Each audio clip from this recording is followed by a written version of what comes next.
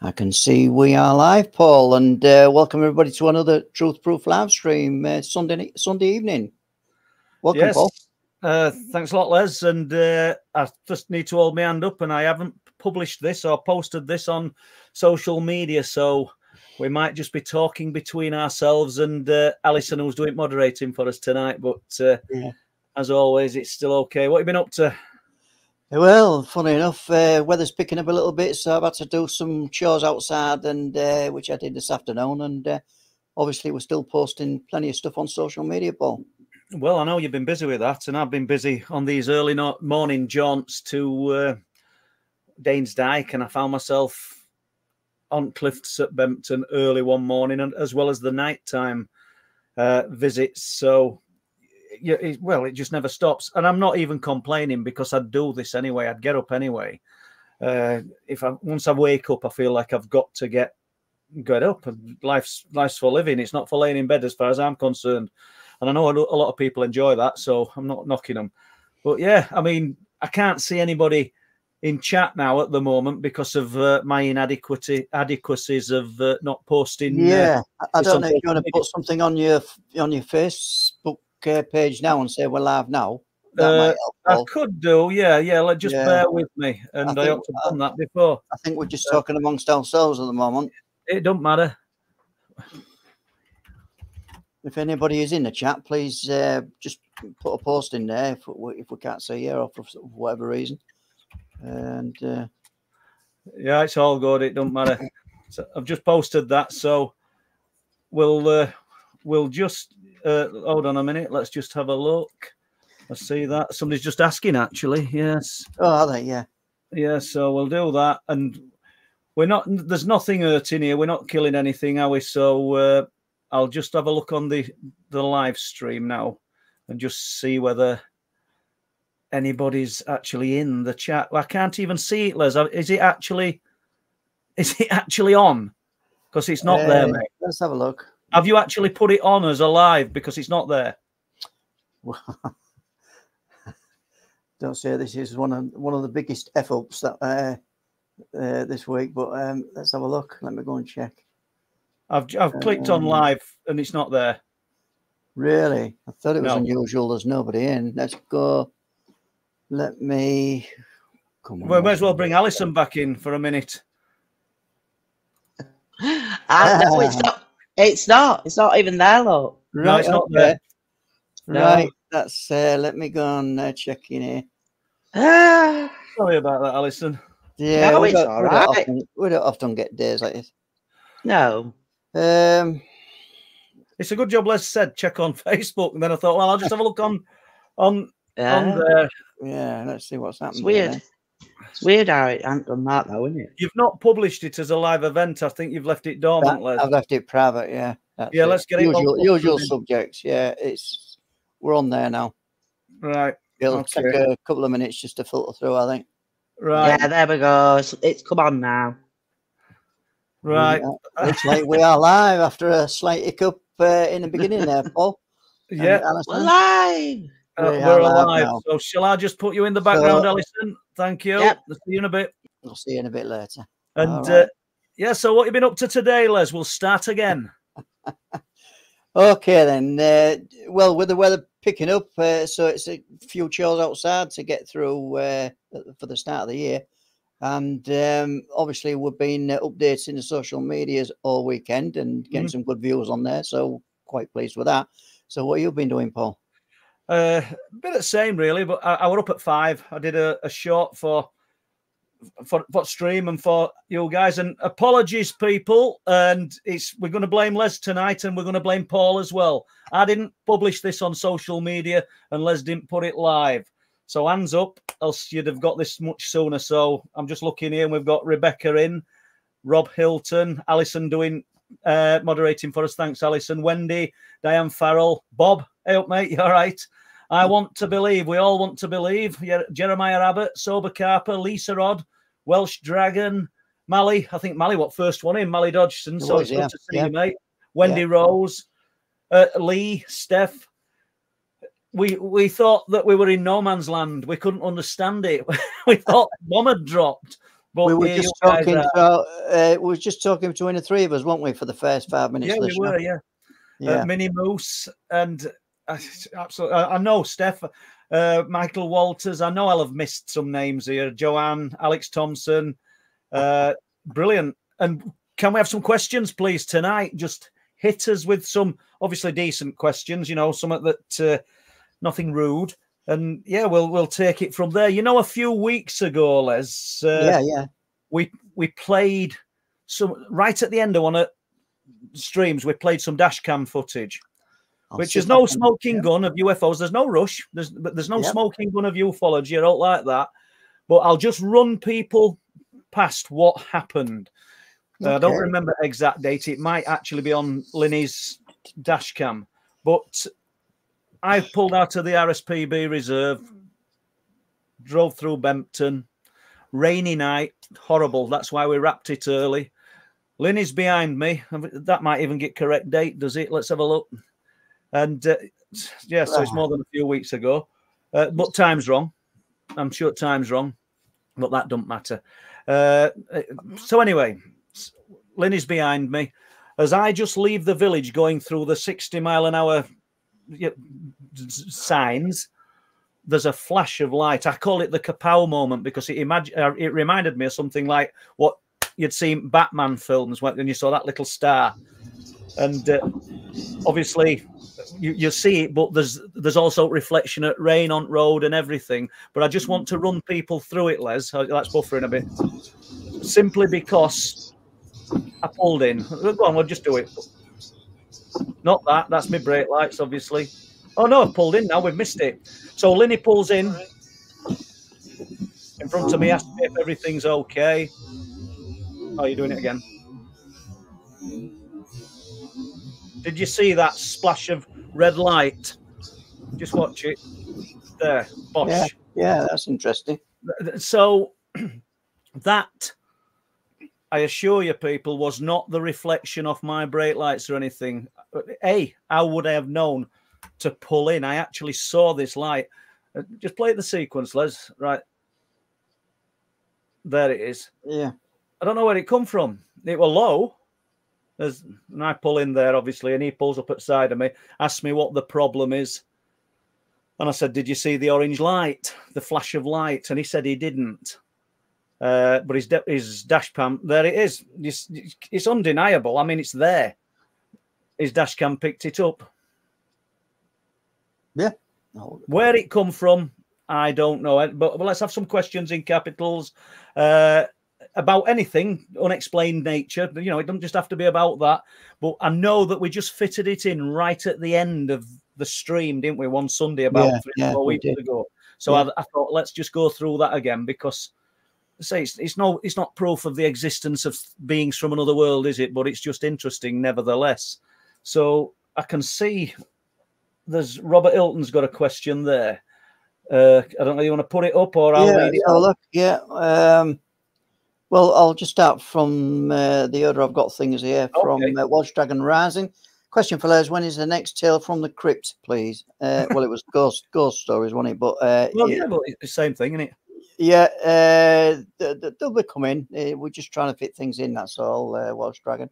Yeah, so it's just a matter of trying to fit things in. But there's there's no there's no plan to drop them. Put it that way. Okay. So And there's no have a look shortage of them, Les. There's no shortage of, no, of no, there isn't. Is there? hauntings and ghost stories around Eastern North Yorkshire. And I would Yeah. imagine Welsh Dragon. Uh, I bet there's lots of hauntings around the locations where you live and all these other people. I mean, I think you're going to stick to East Yorkshire, are you? For now. Uh, predominantly, yeah. I think that's uh, kind of what I'm looking at here in front Yeah. of me. But uh, yeah, but all in due course, uh, I'm sure. Okay, so Snoz, uh, evening, being up the east coast this weekend. Any reports from the woods behind Scarborough, the Forge Valley? I've never never realised how wooded that area was.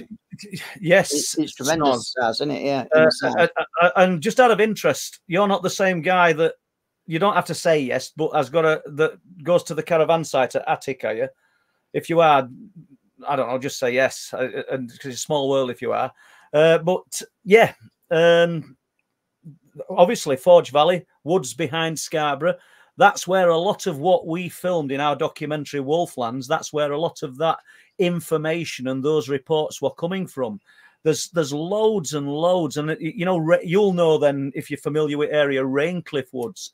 And I was talking to a, a young fella, I think about 29, 30, called James Coppett earlier this week.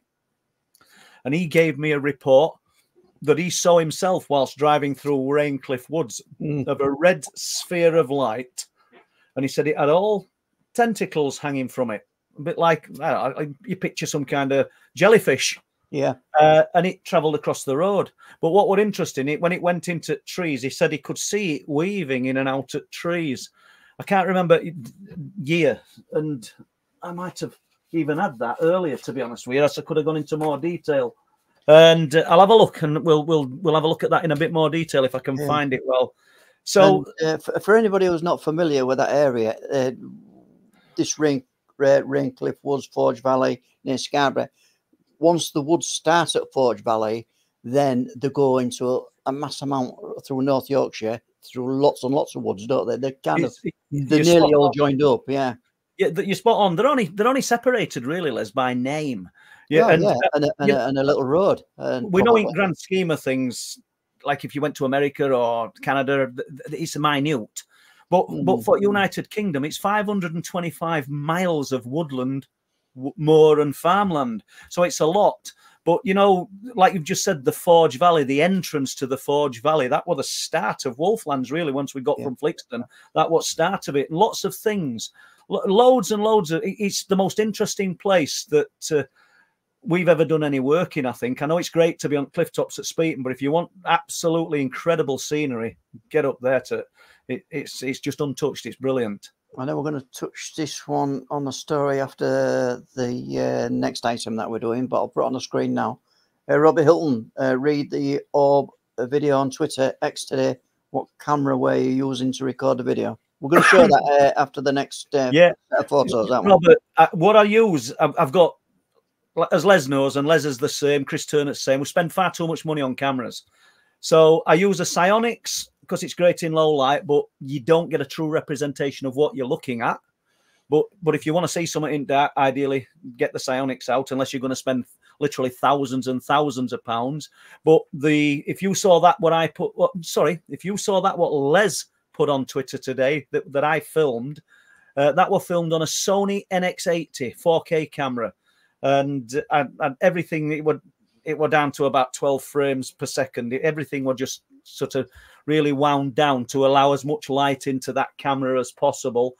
And I'm not going to run through that one, Robert, because we're going to do it in a moment. But that it was a Sony NX80, and I really rate that camera because it, Les has got two of them. It's a good all-round camera, Les, isn't it? Yeah, yeah, it's uh, it's um, not the uh, don't gather as uh, as much light as uh, some of the more top end of the Sony camera range, but um, yeah, it, it does it does pretty well for its uh, for its uh, size and uh, and its cost. Yeah. And you know, I had I had before that, Rob. I don't know, Robert. I don't know whether people are interested in purchasing an half decent camera for low light footage. And quality's not brilliant, but I had a Sony VX twenty one hundred, and I bet you could pick them up now for next to nothing. And it cost me about two and a half grand when I bought it a lot of years ago. Les mightn't even know when they were made. Uh, we're going back a lot of years, but it's Yeah, I, I'm not as old as that, Paul. I, I don't quite go far Yeah. back in uh, time. Yeah, yeah, you want to get rid of shake, uh, but it's uh, it's it's a, it's a great camera, and for low light, if you see one cheap and it looks half decent and it's working, I recommend the uh, the VX twenty one hundred. It's absolutely brilliant. I reckon you'd pick one up for less than hundred pound today.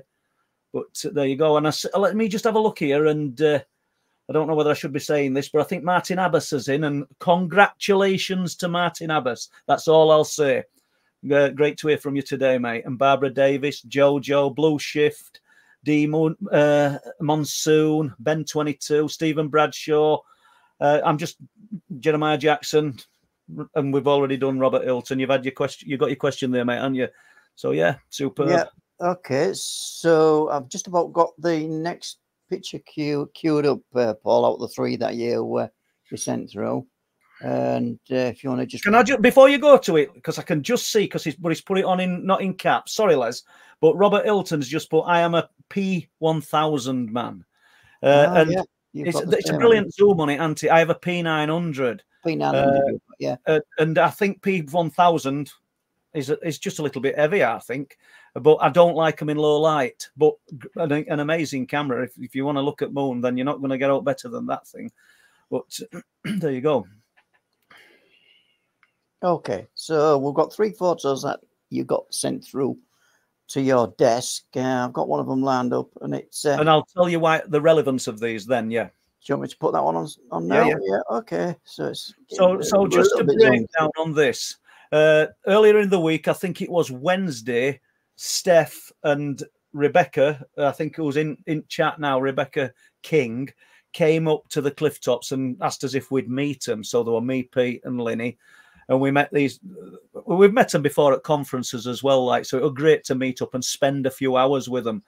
Uh, well, I don't know, it's probably spent three or four hours, but uh, nothing untoward seen. But what I found interesting, I don't know if uh, Lynn is in chat, but a few- a few months ago, me, Pete, and Linny saw a black kind of egg-shaped object that just rose up and then went back down. Yeah. uh, a couple of times, and we you, you may have heard us talking about it if you if you've been in these chats before. Uh, and then, as I say, uh, I think it was Steph that took these pictures, and she were looking at them today and noticed this black thing, which could, in all fairness, be a bug. But I just thought it were interesting in in view of what we saw a few weeks ago. Although what we saw were closer, and it were kind of egg shaped. Yeah, So- so, just so just for the yeah, viewers, uh, Paul, people in the stream, just give us a an indication where the camera is pointing uh, in, on the landscape. Okay, yeah. So we're looking from the cliffs inland, and that building that you can see that oblong, uh, oh, well, that's kind of square building to the right hand there. Yeah, Yeah. That's that's one of the old. I think it's one of the old plinths for the Type 80 ra- radar on RAF Bempton, the former RAF Bempton. So that's Right. where you would be looking there. So, yeah, yeah, Yeah. and obviously you, you can see what we're looking at or what uh, Steph's picked up in the picture. Which let's hold his hands up, people. It's it's not the smoking gun of ufology, but it's just it's interesting that when you look at pictures, you can find things. It's not a face peeping out of a leaf that is a leaf. It's there is something there, even if it's a bug. So yeah, good, good one. Yeah, um, and I think the other pictures are broadly the same. the, uh, the- the same. I think what they're doing, Les, they're just showing that there's nothing else there. It's not Yeah, you know a- a pole that's just distorted with with something on top of it. I'll, I'll so look, have I got another one? Yeah. You just ramble on for a few seconds while I just Oh, I'm good at rambling on. Uh, uh, I've been looking at some historic sightings today because I just I love the old sightings and Filey throws a lot of them up. I was fortunate enough to uh, get information from the former hairdresser at in Filey, and when I say the former hairdresser, that kind of sounds like there's only ever been one in Filey. Well, I imagine years and years ago there wouldn't have been many hairdressers in Filey. Not back in the 60s and 70s. Might have been two or three. I don't know. But this lady, just like in a barber's shop, you you get information, don't you? Get people sat in chair and you you know you're doing the hair, not just Yeah. women. She used to do the police officers that were in. She used to do the fishermen, and she'd get little bits of information. Yeah. And she was Gossip, I think they call it, Paul. It's called gossip. Well, yeah, it's called gossip, but I'll, Yeah. we'll call it information. I don't want to call this lady a gossip, do I? Yeah. Uh, so, uh, sh- she want a gossip. No, no, no. So she get little bits of information, and obviously having an interest in the unexplained, uh, her ears would prick up. And there were one night, this police officer came in for his haircut, and he started telling her about the night in the previous week where they pursued a UFO in a car, obviously flying this thing. And I've told this story before, and they're pursuing it through this little town, Filey. And there's one of those big gasometer, these big gasometer, the tank Yeah. things, and it just went straight into the side of it and disappeared. Uh, so obviously the, there's no substance to it if it can do that. Otherwise, there'd have been a large explosion, probably. Or, so, so, so hmm. that was one story. Then she came up with the other story of of her and her husband walking along the cliff tops. They're not like Bempton and Speeton, but they're still quite steep. And looking at Filey Brig, this outcrop of rock that sort of juts out into the Bay of Filey for a mile. Obviously, at, at, high tide, you can't even see it. That's why it was so treacherous to ships. And when you got the people in in times gone by would deliberately try and tell people it were a safe haven to wreck boats on them them them rocks to plunder whatever what in these ships. We're going back to probably 16, 1700s, but regardless. So the, the rocks are exposed at low tide, this mile long stretch of rocks. And she's walking with her husband. This is not something she was told, she saw it. And a vehicle, long, she can't describe it as a bus, but it has windows in it. And she can see occupants in it.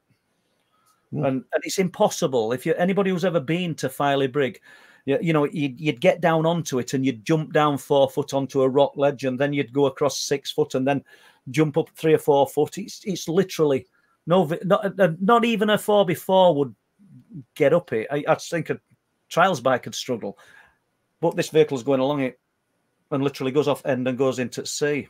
So just a, a, quirky little story.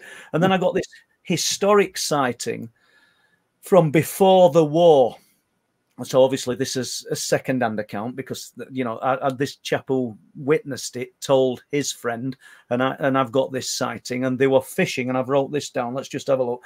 They were fishing in uh, off in they were fishing off rocks at Filey Brig into Crab Hole. So obviously the, the name suggests that there's going to be crabs there, uh, which is at the end of Filey Brig, at the south side of Filey Brig, and they're overlooking Flamborough and when oh, everybody says Flamborough, which is interesting because first thing you see is Speeton. Yeah. It's that outcrop of rock. Everybody assumes it's Flamborough. You're looking at Speeton. But anyway, they see the outcrop of rocks. And off off the cliff face in the air, they see a large white cigar-shaped object. This is before war. They observed it for 10 minutes before it sped away into the distance silently. So mm. once again, it's just proving that these things have they've been here decades and decades, if not thousands and thousands of years. There's there's no shortage of reports, and I, I'm I, I can't keep up with them to be honest with you. But uh, yeah, interesting, isn't it? But yeah. it's all linked. Everything's just just there. It's all ingredients are there for the strange in this area. But it, what I found fascinating, it was just off the cliff face towards Speeton. We know that you know it could have been further back. It could have been towards Flamborough, but it's hard to gauge it when all you're looking at that's silhouetted cliff face. Because we've got that police officer sighting there from 2005, I think, on Enders Filey Brig, which I spoke about a few weeks ago with his wife, couple behind him. They see the object and it zigzags across the sea and stops above them. If that's not meant for them, then I don't know what is. Do you know? It's yeah. it's crazy. Do we have any more questions, Les? Yeah, well, I'm, I'm first of all, while I've got this queued up, we'll just uh, okay. bring bring go back to the previous story I was talking about on it. I okay. think this is a yeah, this is a different one in it. So it's it's has it moved in this? Uh, uh, I don't know, to be honest, Les. Uh, it may not have, it may have, but uh, the, I think the point it. is, yeah. The, the, I mean, the backstory to our experiences from a few months ago when me, Pete, and Linny were in this area. I don't know if he's in chat. He might want to add to it if he is. Pete will be listening, but he won't. He, he won't come in chat, will you, mate? but uh, uh, Ian suddenly started saying, "There's a. Can you see that orange light around your feet and around Pete's feet?" We couldn't see anything, and he, he got quite animated. He got quite not upset, but annoyed that we, he could see it, and uh, to the point of thinking, "Am I going mad?" So that happened, but literally five to ten minutes later, he's he's grabbed Pete Bit's shoulder and he's saying, "Get down, get down! Can you see that?" And there's a black egg-shaped thing above the hedges, a lot closer than that. Yeah. I didn't know what they're looking at at first, but when I when I started looking in direction that they were talking about, sure how far enough, how far on this photo would that, be away from the photographer, Paul? I think that's 200 yards away. Yeah. Uh, roughly. You know, I think that'll be 200 yards away. Uh, you know, it could be it could be two to 300, but I'd say 200 yards away. What, what we saw months ago were probably only about 100 yards away. Uh, and he went up the next day in daylight. He wanted to sort of scan the area. But yeah. I just thought, in relation to you know what what we saw this black egg shaped object that were in an interesting picture. Uh, and we know it's night time so that thing could have been colored light blue for all we know or white. But you, it's going to look black in dark isn't it? But yeah. Yeah.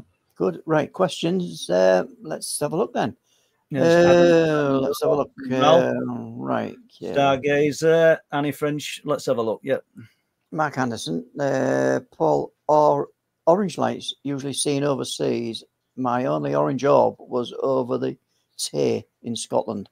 do, do you know mark I, th- I think that these lights are integral to the, the entire subject of unexplained phenomena and because you you can see, you can see evidence of them in lots and lots of reports. And and if we just cited the areas the, the key areas of eye strangeness you know the, the, the locations that produce all the, these different types of unexplained phenomena what do we see?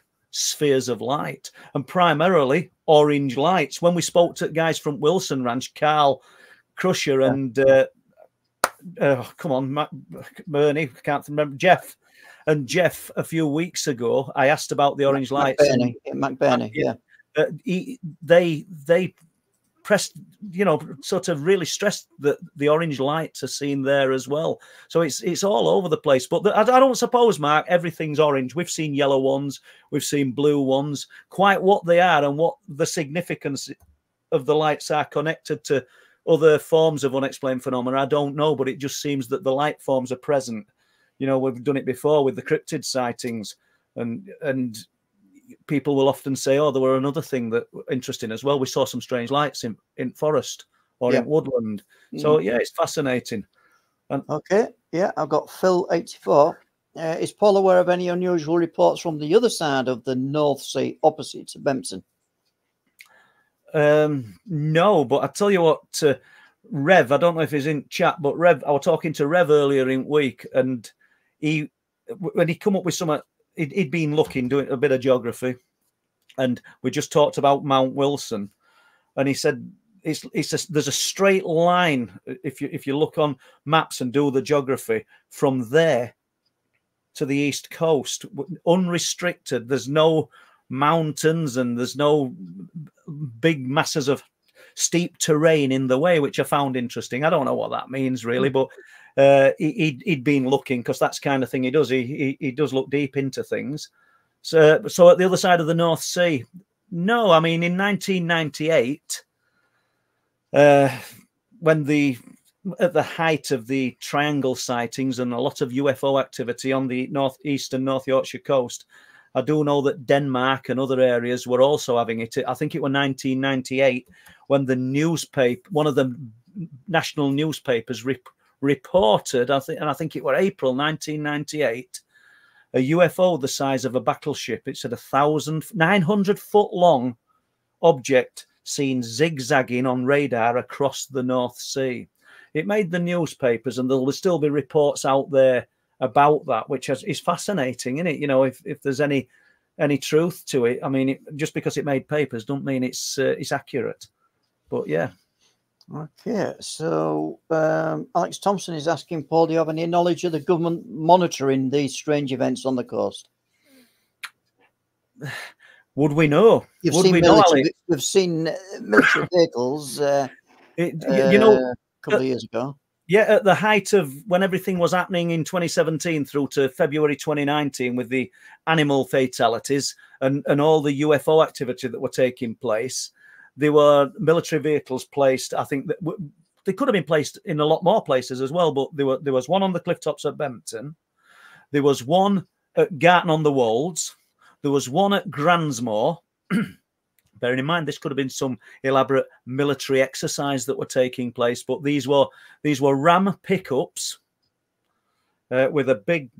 I think we put pictures up before. There's big box on the back, uh, and it weren't Mm. covered, but it, every panel on the box had the the hazard sign, a radiation sign on it, and if they had a big dish on the top, not like a satellite dish, it was more like a tube, like a great big pan of a dish, but like a tube. It was deep, and uh, that uh, that was at the same time as when all of this carnage with animals were taking place and everything else. But would we know? Would we know if people are monitoring? I mean, if they're so covert, uh, we talk about that incident at Crab Rocks in 1966, where the three fishermen were hauling crab pots at Crab Rocks and they saw the sphere of light above their heads and they kind of ducked because they saw a reflection of it in water. But when they went back to shore at Flamborough, there's men in suits waiting to speak to them. How does that work? it's just it's just nuts. Who could have known? Uh, oh well, it's some elaborate military tech that they were testing, but this is 19. It's 1966. Mm. So it's, it's a long time, over 50 years ago, and we're talking about a sphere of light the size of a football. And uh, I love saying it, third ball is what the Flamborough guy told me, who actually saw it. Let's have a look then. Uh, Lee Roscoe, question Paul, the shot you added late night or last night or late night with Bobby yeah, Wolfen, yeah. when did this activity start? Was it in 2024? It, all I can say, well, when did it come to my attention? Uh, I'd have said mid February, but it, this is Lee. Lee, this could have started before. Mm. I, I, really don't know. But late February, sorry, mid February is when I found out that allegedly people had been sort of chased out of the dike by, of all things, a sphere of light. Uh, there's there's more on that. Uh, in fact, I got the date. It what 14th of March that the sphere. So we're not February. 14th of. Let me get this right. 14th of February. The, the sphere of light pursued people out of the dike. I'm sure that's the date it was. And uh, then we've got reports of the dead animals on the beach badgers under cliffs. That don't fit, does it? Let's face it. Uh, we know they're omnivorous, so we know that, that, that they're opportunists and they'll eat anything. But uh, I've I've not really seen badgers. I spend a lot of time up and around there and up and on cliffs, and I've not seen badgers under the cliffs on the edge of the sea. I'm not saying that doesn't happen, but any old dead badger looked absolutely pristine. So we're not talking about anything that's had anything removed from it. A dead seal, pristine, and then a porpoise that were literally in the same condition as the animals and the, the marine mammals that we were finding in 26 2017 i said that without saying that horrible word didn't i? So we're, we're, we're all good there and but there's more because I, I, I, put the message out today because somebody told me that they've been finding them at Barmston, or somebody's message to say they've been found at Barmston. Uh, not just marine mammals, as in seals and porpoise, but deer as well with face facial stripping. So I need to. I'm not saying I need, but I want to find out more about that as well. You know, it's not. It's not some kind of. There's no pleasure in finding these animals, but I want to find out or try and find, try and find out what's happening, what's responsible, what are mechanisms involved, and is it starting again? And that's the that was the title of uh, the short that we put out because that's what I firmly believe it is.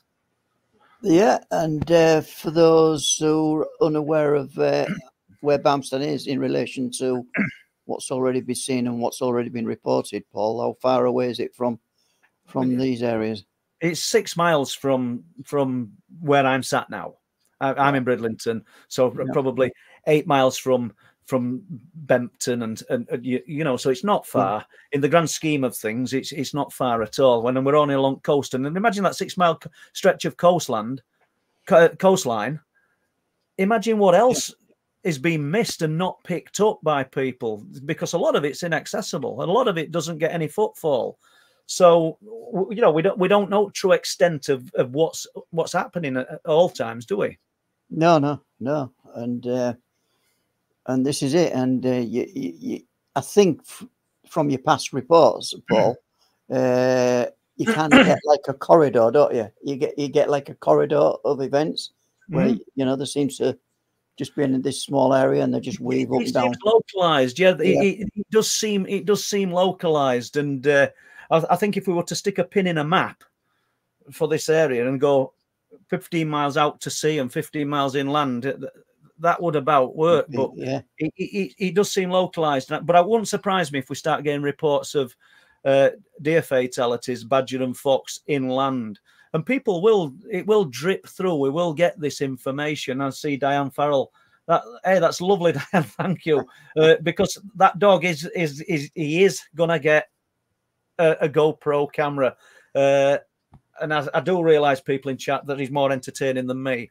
Uh, she's great, isn't he? He's just funny. But yeah. Yep. Okay. So Nigel Logan, has Les ever thought of going to 30 West Street, Pontefract, and uh, which I th- think is the most haunted house in England at present? Really? Uh, no, I've never considered it, uh, Nigel. But it'd be uh, it'd be fun to go up there and have a and have a look. I suppose it's occupied and, and a private house, is it? I don't know. I, I, think it is, and if Steve Ashbridge were, and he'd tell us because I'm sure he stayed there. Right. Uh, I'm I'm pretty sure he did, and it, great to have Nigel Logan in chat. Do you know? Uh, I won't go into great detail, Nigel, uh, but uh, this this fella who's just put that question up has had the most incredible close up flying triangle sighting that I've ever heard about in my life. There's not many people got to see the top of one of these things, but he has.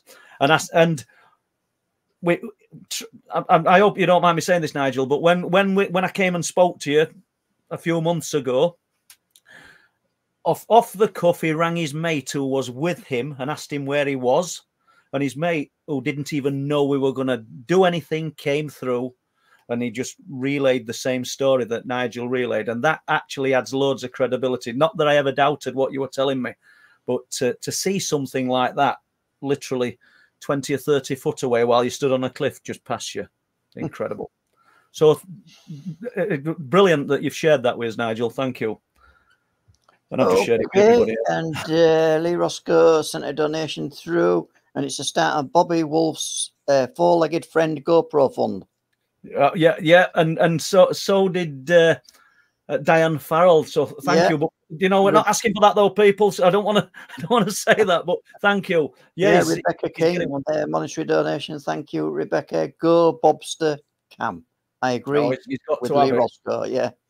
Um, let's have a look. I might as well get the other one. Uh, Margaret Webster. That, that's for donation to Bobster and Diana Farrell, as you just read out. Uh, thank you, Diane, for the uh, donation. Uh, right then, let's have a look with this one. 1022 evening, Paul and Les. Paul, what do you make of the so-called Welsh Roswell incident? Uh, uh, you're talking about the Penturk. Penturk. I, I, hope I pronounced it right, and if I haven't, I know that somebody in chat will pull me up. Uh, don't know. We, we've we've we've had uh, Kaz Clark on here uh, giving her account of what she saw and what she experienced on that night. In fact, that's somebody we need to get back on because I'm sure there's going to be updates. Uh, if, yeah, if, yeah. put your thumbs up, people, if you'd like us to try and get Kaz Clark back on, because I definitely will do that. And uh,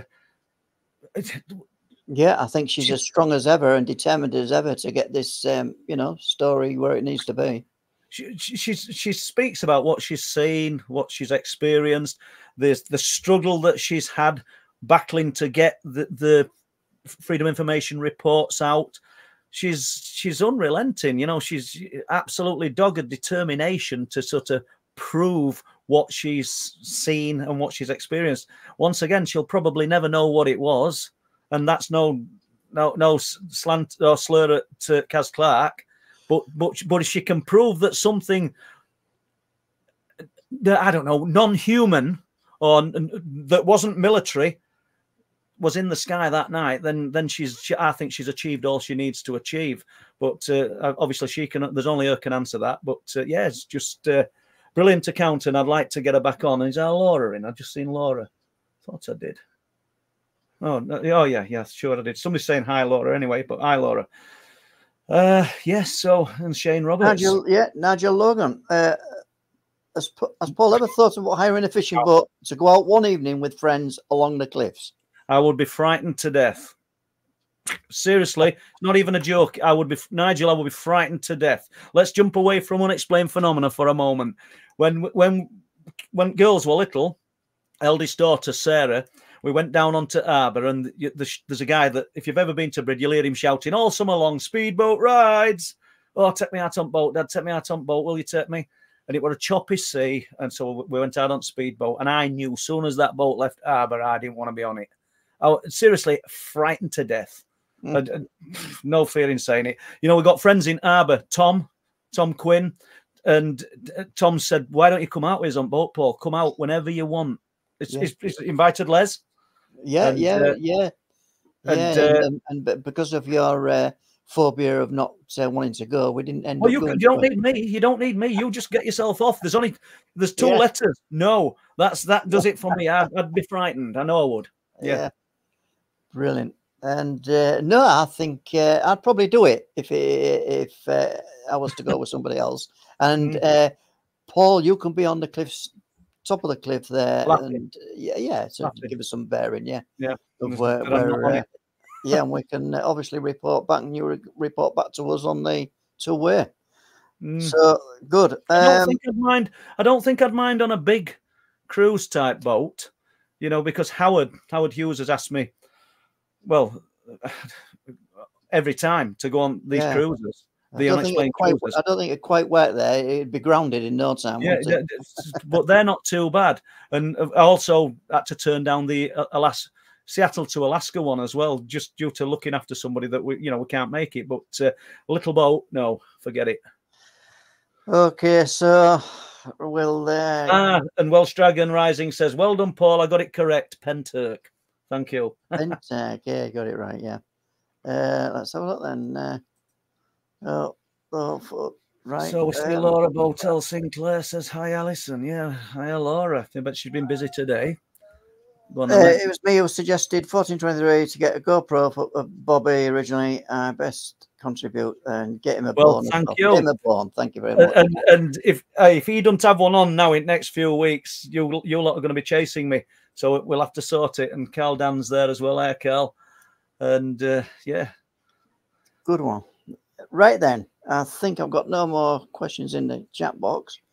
And uh, we're going to run through a little video that we'd put on uh, Twitter today. yeah. I've got Before you do it, do you want me to just give them a breakdown of what we're looking Give them a at? preface of what, the, uh, Yeah. what, yeah, what the story Um, is. I think last Monday, I, uh, I maybe got date wrong, but I think it was last Monday. I were up on the cliff tops with Pete. We we're, we're up there all the time, as people know, and I would think ninety nine point nine percent of the time, nothing. Looking towards Filey, so I think this was in between Filey and Speeton, and we saw two lights that we thought came out of the water. Once again, lights. We're chasing lights, people, all the time. And uh, by the time you've got a camera on these things, and it would have been uh, it, this time it was the NX80 because I think uh, we, we've talked about that earlier, and uh, I've just been normally I'd use SiOnyx, but I'm glad I used NX80 because it gave a true representation of its color. Yeah. They'd gone. By the time we'd got camera on, they'd gone. They were up and away. But then we saw them. We saw one again. Pete sort of saying, "Hey, what's that? What's that?" And I got the camera on it and I saw it, and it looks to go into the sea. So make of it what you will, and Yeah, just play right. rattlers. Yeah, we'll get, uh, see if we can get that one up. And uh, So before you play it, Les, there's the light. Oh, you can see that yet. 14th yeah, of March. the, yeah, we're great there. yeah. That's where you want to be looking, folks. and that so- that in the distance is Filey, the, the the lights that you can see. Yeah. Oh, the, the, the lights there. Yeah. Yeah, yeah. Okay. So we'll run that then. And the light you can see flashing is the light at the end of Filey Brig to the right hand side. Yeah, that one. Yeah. Yeah. No, no, further That back. That, that one, yeah. Look at that one. We only managed Wow. to catch it. It- Come out of the water. See if it comes out in the same place. And that that, that was about uh, as far as what you managed to That was it. Uh, Yeah. A lot of time. uh, b- b- In fairness, though, these lights that we see, that's about the right color. Well, play it again. But those these lights that we see don't do that. These lights just appear and disappear. Um, you know, very windy night as well. Let's look at the knife. Very close. It's going down. Well, that's come out of water. We'll see if it cooks out in the same way. I don't know. Just uh, once again, we have to make of these things whatever. You see, I'm looking there. It's six miles to Filey, so we're, it's at least four miles away. If it's a little bit closer to Speeton,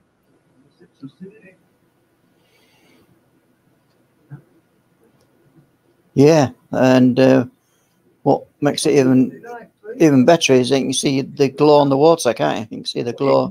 yeah. But and, and it, basically, though, what uh, for me, what makes these bits of footage better, and then once again, I'll say it: they're not the proof of existence of aliens people. They're not are they? We know that but we've got reference points. If that were just black if i was facing the sea with that sony camera well you we can see the cloud in the top but we we have reference points of the little town of filey but we'd already seen two which appeared to come up Yeah. and then just disappear into the heavens and then just pe- just caught this one So were the other two roughly in the same place, Paul? Yeah, yeah, yeah. But they'd gone straight up. But th- there's Yeah. a gap of probably 20 minutes, 30 minutes between. And, you know, your, your eyes are kind of on swivels because you're not just looking towards Filey, you're, you're looking all over the place as well as inland. Yeah. That's it, isn't it? That's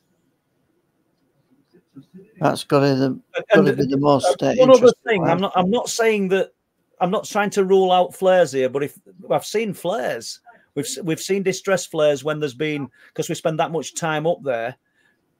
With that light that's reflecting onto the water, if, if I think if that had been a flare, you would have seen the smoke from the flare as well. And there's no there doesn't appear to be any smoke.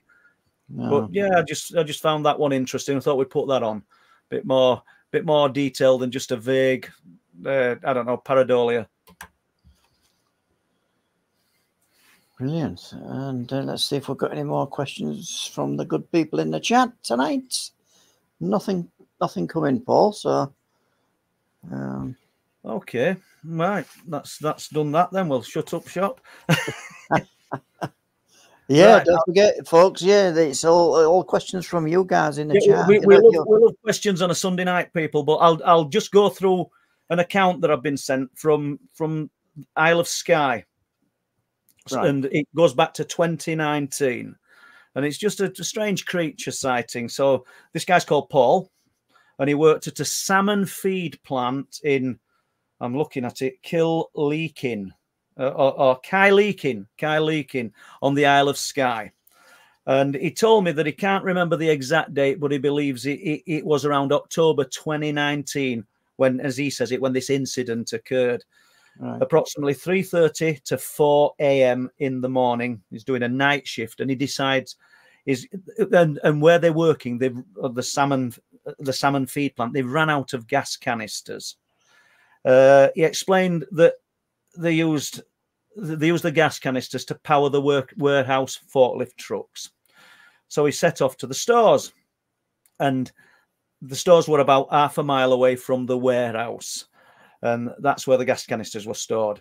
And he told me that they were not that it matters to you guys, but they're, they're driving a John Deere Gator 4x4 to get these gas canisters. Weather conditions were dry and calm. Uh, extreme. He explained that the site had extremely good lighting, apart from the back road to the stores. Uh, no lighting at all. Three thirty-four in the morning. So pretty eerie, I would have thought.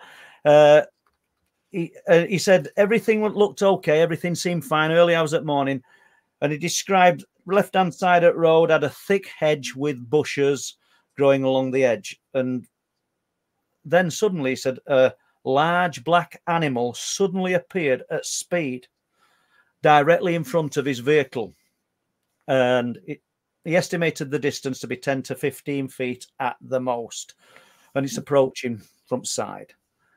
He told me that the road's width was 35 feet. This is where it gets spooky, or not spooky, but this is where it kind of gets interesting. 35 feet. He thinks it covered that distance in one pounds, which is is that possible? You know, I don't know. Uh, in, in one pounds, he cannot be sure, Uh, uh, He said it, it may have actually landed in centre at road and took off again. He said everything happened so fast. But what else is interesting? Uh, he said it, dis- it disappeared in a steep embankment down to the sea, the sea, but he never saw it lift off the surface of the road more than two and a half feet, which is it doesn't seem right that some you'd expect a big arc if it were a big cat to to jump that distance. But he said it never seemed to get any higher than about two and a half feet off road. Really shook him up. Uh, so it covered 35 feet in two seconds or so. I'm just looking at this. Uh, extremely fast, jumped in a low arc like pounce. And uh, yeah, just interesting. He said it's what stood out for him the most were the long curved tail of, of this thing that were jet black. Uh, he said the whole animal was nine feet, he estimated nine feet in length and three feet in in thickness in height that he saw jumping. I mean, it's Isle of Skye. It's not it's not East Yorkshire, but we- we're starting to get lots of reports from around different areas, and just it just shows the extent of what people are seeing and experiencing. So he don't recall any facial expressions, total mystery to him. It's just an interesting sighting, but it threw me then to one up up near Galloway. One of one of my absolute best friends, Robbie Shankland, who passed away a few years ago, uh, cryptid researcher. Just let me just do a background on Robbie. Um, back when I lived in Doncaster, probably I don't know, nineteen early nineteen nineties, when we were living there, this guy came, as a crofter came down from Scotland to try and find work in Doncaster, and we became great friends, really good friends. And then all them years passed, and then probably about eight or nine years ago, he contacted me. He'd been to a conference, UFO conference in Scotland, uh, Scottish UFO conference, and my name had been brought up. And he said, "Are you the same bloke that we used from Doncaster? Think you must be." And we struck up a friendship again. You wouldn't think it. That's coincidence, isn't it? So anyway, me and Robbie struck up this con this great friendship again. Say passed away, a great cryptid researcher who's really underrated when because I know there are a lot of researchers in this country and in Scotland have used his work and not give him credit he deserves because it all came from Robbie, a lot of it. But there you go. So Robbie told me that his brother, who used to not mock him, but just had no regard for Robbie having this interest in the potential for a Bigfoot to exist in in in the Isles of Scotland. He used to work in a quarry, and once again, early hours of the morning, he went to fill up the, a, a diesel tank. And as he's going down the, the road, he told him this, uh, even though he's got no interest and no kind of, I don't know, just he's not going to pursue it like Robbie did, that a large bipedal creature similar to a Bigfoot walked across the road as he's going to fill these diesel tanks up to, to supply the lighting in the quarry. And he's just dragging a tractor and tra- he's driving a tractor with a trailer. Absolutely terrified him and wouldn't do the night runs after that anymore. So these things are out there all the time. I just wonder how many people, I keep saying it, don't I, sat on stories that just never ever get told. So, do we have any questions? We've got a flurry of questions after I said we had no questions. Thank you. And uh, yeah, so there we go. Ian Linney uh, is saying, Paul, we have seen the lights many times over the land. Well, yeah, we we we have, mate. Yeah, we have, and uh, fingers crossed, we'll we'll get to see a few more. And do you know, even, I don't think you'd come on and talk about it, but you've you've seen some interesting things yourself. Uh, and you know, when you talk about them, and Pete, it, it's just as fascinating as anything I'm talking about today. It re- it really is. Uh, I, I remember this guy telling me about the time that he's doing a bit of shooting, all licensed, all legal, and he's in this particular wood, and he turns round and he'll probably correct me if I'm well, I know he'll correct me if I'm wrong, but when he looks into the fork of a tree, he sees what it, at first what he thought was a wood pigeon, because we know they're a dull grey. But when he looked at it, he realizes it's kind of the shape of if you imagine the the alien head in Whitley Strieber's Communion. That's what he as he described it to me, that's what I saw in my mind. And he looked, no eyes, just this shape. And when he looked again, it had gone. Just just quirky little stories that kind of stick in your mind, and obviously they've sti- stuck in uh, in Lenny's mind. But yeah, fire away, Les. Let's. Uh, Yeah, I've um, Let's have a look then. Uh, we are down to um, 40 23. Talking of the Bobsters, Bobby reacted to anything while you've been out walking with him, Paul? That's a good question. Yeah, he, he has f- 14. Yeah, uh, it, it'll be summer or late summer last year. And I don't know why he did it, but uh, somebody had alerted me to some deer carcasses that were in trees in Danes Dyke, very close to entrance on back entrance as you leave Danes Dyke. So I went to look for these things. I found them uh, early morning, but he and he's off his lead, but he wouldn't come in.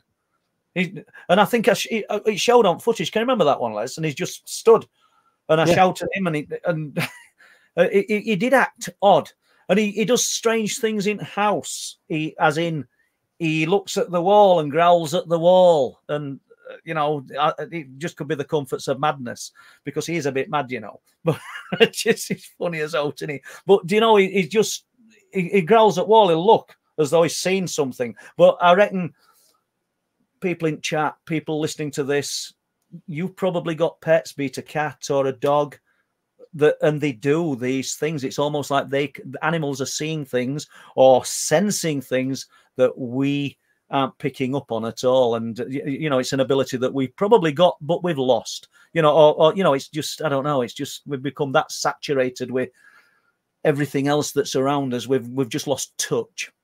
Well, that's it, isn't it? It's down to heightened senses with animals. Uh, I mean, obviously, cats uh, can see in the dark, and dogs have got hearing like, uh, you know, they can hear a pin drop from Oh, five yeah. miles away. Yeah. You can hear, you can hear a So- biscuit packet open as Or well. a, or a put in. biscuit packet open, yeah. Uh, okay, I think you've tempted people now with uh, Nigel because Phil 84 is saying. Can we hear "Can Nigel's Nigel's account? account?" Uh, uh, Yeah. Do you know something? I'll speak to Nigel. I don't think he'll mind, but we'll definitely do it, Phil. If Nigel's got no objection next Sunday, uh, you know, it's not it's not going to take half an hour, but it's it's a lengthy account. It's a great, incredible story, and uh, it coincides. Can anybody remember when the UK they, they had the monster power outages and the Hornsea wind turbine, uh, whatever that that wind that wind farm is called off offshore, uh, th- that was blamed for the catastrophic power failure. So uh, something tells me it was 2018. Nigel, if he's still in chat, will tell us date. Uh, but it's interesting because it were within days of that, and it were within sight of that, and I found that fascinating. That all sort of I don't Yeah. say it made it right; it, it linked it, but it was fascinating. Hmm. So and and and it was a monster. It was a cast- catastrophic power failure, and and, and they saw the triangle. Right, I'm conscious of the time now, but I'm hoping to plow through most of these, Paul. I have Yeah. to be quick with uh, most of them, I'm afraid. Uh, Paul, is there a coastal uh, mark in another country you would like to visit for a scout watch? Uh, uh, yeah, I suppose there is a, a, a, not necessarily Skywatch, Alex, but I'd love to spend some time in that forest in Romania, that Hoia-Baciu forest, uh, the, the haunted forest. I'd love to go to somewhere like Transylvania. Uh, I don't suppose uh, we're, we're all doing it, aren't we? Everybody in chat will be thinking to themselves, you know, I'd love to go to some of these places because we've got all got that shared interest. So yeah, more than one place, Alex. And uh, when I see you up on them cliff tops in week, I'll ask you the same question. This guy comes up and, and he travels a fair distance. So, you know, it's, it's, you know, it's brilliant. You know, I mean, I'm only literally 10, 15 minutes away. Alex is nearly an hour to drive. And there's another guy who comes from Fylingdales and spends time with us up there at least once, maybe twice a week. So, you know, just these people are just as important to what we're looking for as me. Oh, yeah, yeah. Um, Mark Jones, would Paul and Les rather face a dogman or a Bigfoot? I don't know. I, I, I, I, me. I, I don't, know, Mark. I mean, it, it- we, we go to these places, and I think the chances are, Mark, of experiencing it or seeing it are very, very slim. It's it's almost you're in right place at wrong time.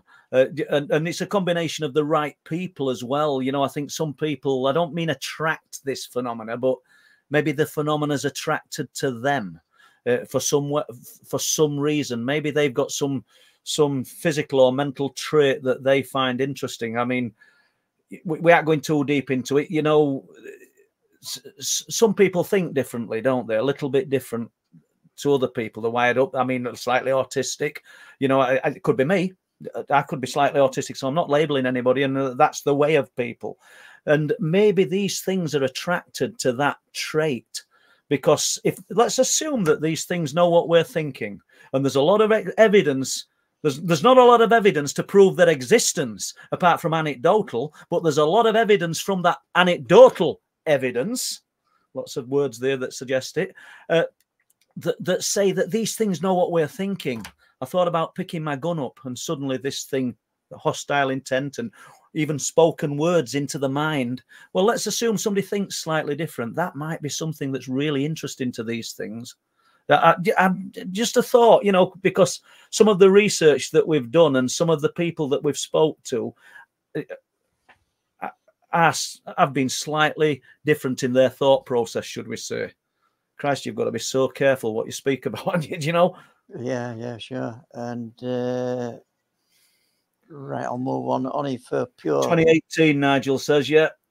Yeah. And he didn't mind me um, talking about the sighting. Thank you. Okay. Um, Lee Roscoe, then, as you can see, the question is Has anything See- happened there on the golf course of Danes Dyke, Paul?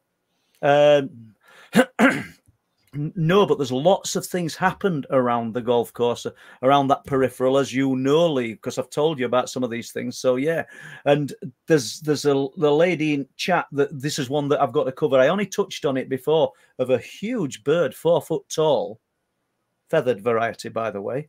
Uh, stood on the edge of the golf course looking at this driver as they drove past in the car. So I'm only touching on that now. So if people want to hear me talk about that one in more detail, I will do because it's one that it, it needs talking about. Because once again, we've got that multi phenomena aspect. We've got this the, the, the Lynx monster that I talked about. This this white emaciated figure that them two men saw on driving range. We've got the cryptid phenomena that people have seen and experienced in Danes Dyke, and then we've got this huge bird, no bird that's four foot tall, eagle type bird, but wrong coloration and everything Yeah. on the golf course. Interesting. Weird, yeah. and uh, let's have a look then. We've got a question from uh, Living Adventure. Question Has anyone who has come to you, Paul, with their accounts gone on to investigate their experience themselves? And if so, have they discovered anything else? It's a great question, and I think that's what we're all doing now. Uh, you, you know, my own experiences have led me to looking into this even more, and I think I think we're all doing it. Whether we're ever going to get to truth of what's happening, I don't know, and I, am not sure anybody anybody really has. I know there's a lot of experts out there, but have they really actually solved it? I don't think they have, uh, and I wish they could, and I wish I could. But unless one of these beings or this in, this intelligence, whatever it is that resides behind that firewall, decides it wants to step from beyond that veil and speak to somebody directly and inform them, and then would anybody believe them? Who'd believe it if if you were told the truth of what was happening by this this unknown other? Would anybody ever believe it? They wouldn't. Do, do- do you know? It's it's like just briefly, Les. uh, But Chris Meek, when he talked about his sighting, the the old guy's sighting that a few weeks ago we had him on live stream, Yeah. that he he in in his mind he heard those beings. So he That says, was, say, that was a fascinating it, account, that it one. really was, and he heard those beings say, "Leave him. Nobody will believe him anyway." Yeah, You know what I'm? yeah. And he heard them say it. You know, and it's a fact. So yeah. I know you touched on this earlier, Paul, but Carl Dan is asking a similar question. Paul, uh, any more reports from Wharncliffe Woods? I've I've not heard anything, Carl, and great to see you in in chat, mate. Uh, as we've got, I, think they called her Deborah, who gave us this incredible inc- account from Wharncliffe Woods that I'd love to go over because I've only ever done it once, and it's a long report. What when she were a little girl, what she saw. We've got the uh, the other guy who we we did a, a pre-recorded uh, stream with, uh, who told us about his his Bigfoot encounter in Wharncliffe Woods. So it's an interesting place, yeah. So, yeah, anybody that's got any reports from that area, please fire them at us. Yeah, yeah. And let's have a look. We've got um, Colin. Colin Hi, Falcon Colin. for Paul and Les. With the warnings in the USA for the uh, coming eclipse, do you think it's pure fear porn or something more nefarious? I don't know quite know what the No, warnings I are. Paul, don't know, Colin. No, and and uh, you're kind of educating me here because I didn't. I've not. I've not looked at any of that, so I can't really answer your question. But I'll have a look. And uh, Yeah, there's uh, there's loads of. I mean, we've how many times have we been told it's going to be end at world, and we're still here? oh, Well, we yeah, think we are anyway. yeah, well, it happened with the Nostradamus 2012. It happened with uh, what was it? The changeover from 1999 to 2000, uh, where everything was going to go into a disaster period, wasn't it? Mm. Uh, the millennium, and uh, yeah. So who knows? It's a great word that as well, Colin, isn't it? Nefarious. I really like that.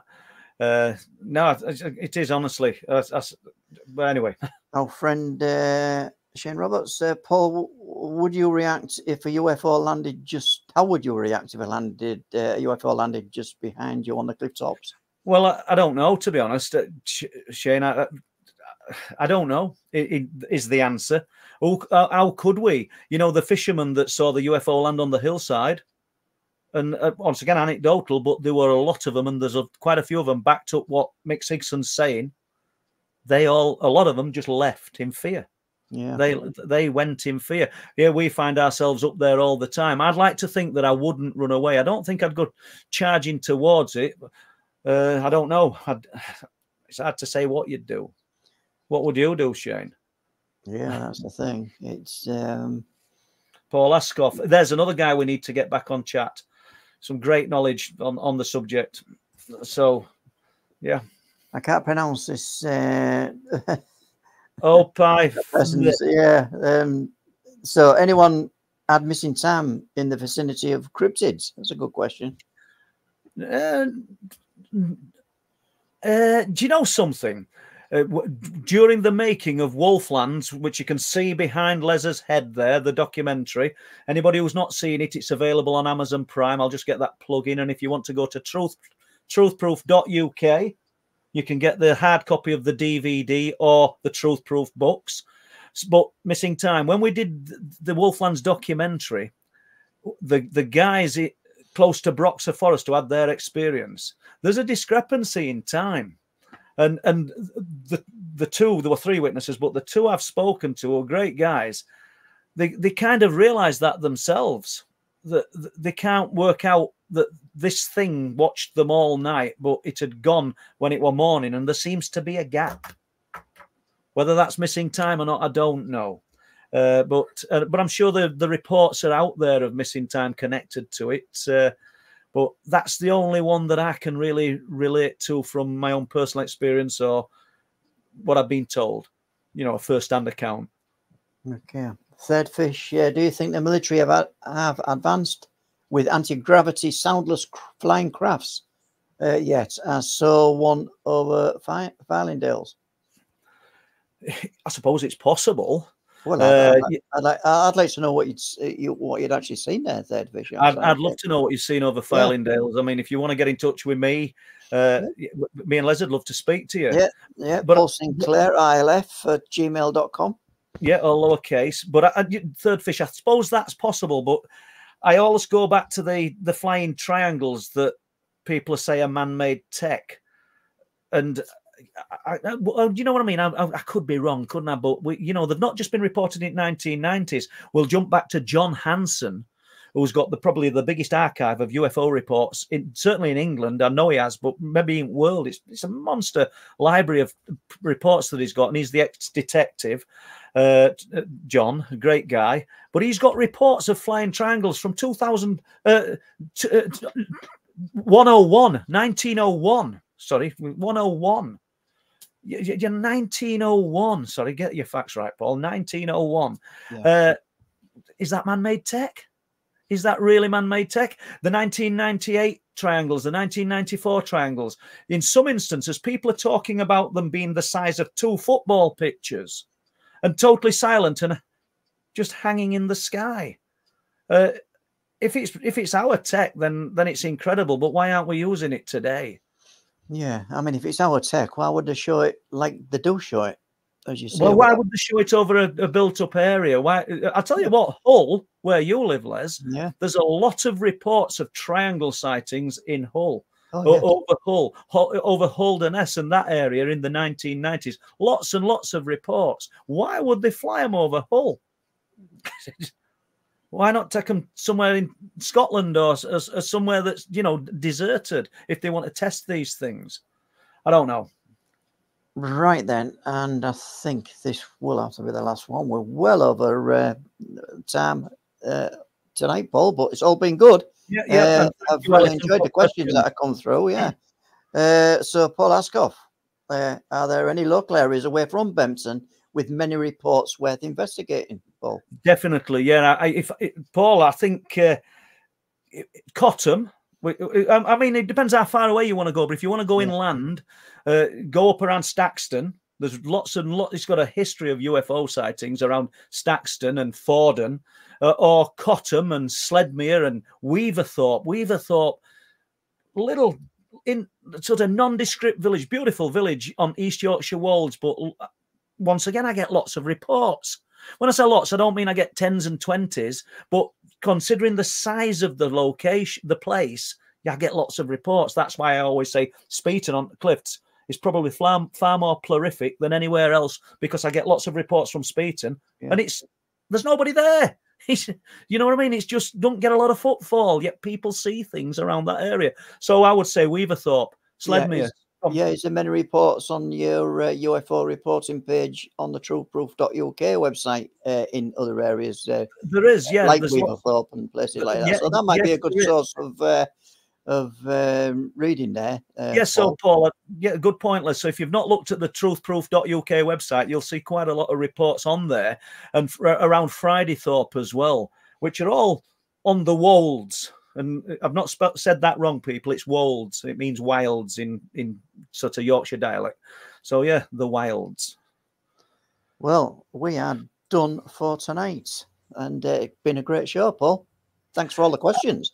Thank you. Yeah, the questions come great. Sorry that we weren't there for you right at the beginning, people. Uh, my fault. I didn't put it out there, and uh, yeah, other than that, thank no you. Yeah, we came good at the end, and that's the main I'll, thing. I'll, I'll just bring Alison in to say goodbye. Hello. Uh, thanks for uh, sending the questions through, Alison. So, and on that note, we shall uh, say good night. Thank you. Say good night, and we'll see you all Thursday. Have we got a guest for Thursday, Paul? Have we got uh, At this moment, it, it could be Damien Knott from Australia because I think he's got his dates mixed up and ah he's he's put he's put down this month, so we this Thursday. So we shall see. Okay, if not. I'm going to tap up Paul Askoff, who's in the chat. there you. we go. Okay. So there we go. So it's good night from all of us then. Right. Good night. Good night.